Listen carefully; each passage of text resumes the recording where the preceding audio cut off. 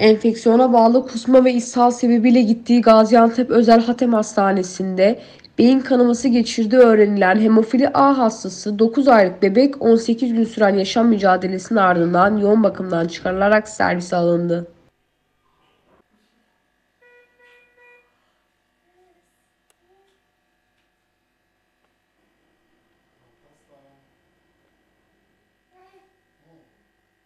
Bebeğimiz aslında basit bir gastroenterit dediğimiz tabloyla bize başvurdu. Bir kusma ishal tablosuyla bize başvurdu.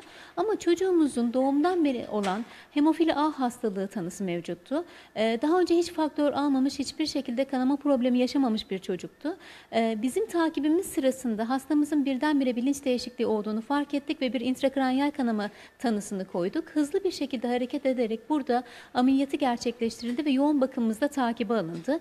Çok ciddi bir ameliyat geçirdi kendisi ve özellikle kanama diyetezi dediğimiz kanama bozukluğu olduğundan, pıhtılaşma bozukluğu olduğundan hastamızın e, çok ciddi bir operasyon geçirdiğini söyleyebilirim. Başarılı bir şekilde bir ekip çalışmasıyla üstesinden geldik. Şu an servis alacağız, çok mutluyuz. Çünkü hemofili A dediğimiz hastalık zaten toplumda çok sık rastlanan bir hastalık değil. Türkiye'de Gaziantep'te aslında fazla olan bir hastalık oran olarak. 250 tane çocukta var Gaziantep'te ama hepsi faktör alıyor değil, hepsi herhangi bir şekilde tedavi alıyor durumda değil. Bizim yavrumuz da ilk geldiğinde bize tedavi almıyordu. Sadece takip altındaydı. Birdenbire maalesef akut bir tabloyla bizim karşımıza çıktı. Ee, şu an için durumu çok iyi. Hem beyin cerrahisi ekibimizin hem anestezi ekibimizin hem de yoğun bakımcılarımızın başarısıyla beraber çocuğumuzu bir ekip halinde hemşire arkadaşlarımızla, bütün bakım verenlerimizle hayata bağladığımızı söyleyebilirim. Birincisi mümkün olduğu kadar akraba evliliğinden uzak durmak gerekiyor. Çünkü genimiz ne kadar fazla birbiriyle karşılaşırsa aynı türden genler birbiriyle karşılaşırsa o kadar fazla bu hastalıkla karşılaşıyoruz. Çocuklar özellikle ilk emeklerken dizlerde belki ekimoz dediğimiz böyle morluklar görünmesi, e, sünnet yapıldığında durmayan kanamaların görünmesi, durmayan burun kanamalarının olması, belki aile hikayesinin olması durumunda bütün çocuklarımızın, bütün e, çocuklarımızı yetiştiren bakım verenlerin uyanık olması gerekiyor. Böyle durumlarda lütfen doktorunuza başvurunuz. 18 gün önce Muhammed Alparslan e, enfeksiyondan dolayı Hatem Hastanesi'ne buraya getirdik. Getirdikten sonra beyin kanaması geçirildiği öğrenildi. Hemen Bilgi Hoca tabi sağ olsun hemofili A hastası olduğu için ilaçları da zor bulunuyor.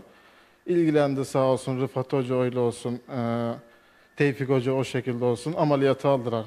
Bizim çocuğumuzun beyin kanamasının geçirmesi daha da riskli. Neden derseniz hemofili A hastası kanda yani pıtılaşma olmuyor genellikle. Çok şükür bugün işte 18. gün servis alacaklar. Şu an durumu iyi. Bilgi hocamın da dediği gibi morarmalar çıkmıştı vücutlarında. Morarma çıktığı için hastaneye gittik hematoloji bölümünde.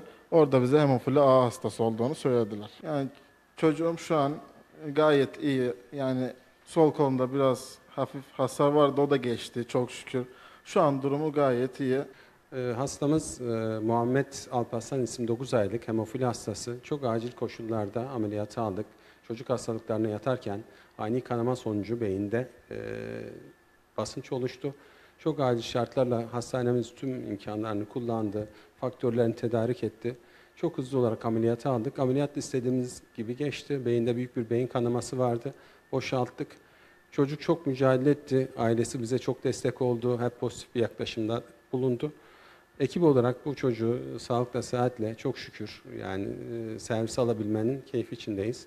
Yani biz ameliyata girerken çok umutsuz girdik ama çocuğun mücadelesi, bizim gayretimiz iyi bir sonuca vesile oldu. E, tabii daha mücadelesi olacak. Kendi e, kendi hastalığıyla ilgili doktor arkadaşlar gayretlerini gösterecekler. Ama hayat mücadelesinin ilk aşamasında büyük başarıyla e, tamamladı. Bence bebeğin bundaki gayreti e, en büyük etken. Belki bu olay bir erişkine böyle bir kanama olsaydı kurtaramayabilirdik. Bebek ailesinin pozitif yaklaşımı, bizim çabamız çok şükür istediğimiz yere geldik yani.